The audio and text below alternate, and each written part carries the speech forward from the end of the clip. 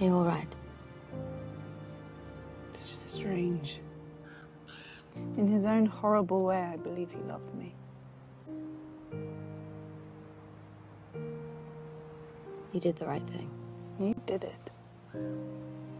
I'm just the executioner. You pass the sentence. You're the Lady of Winterfell. Does that bother you?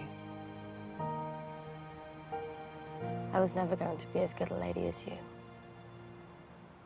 So I had to be something else.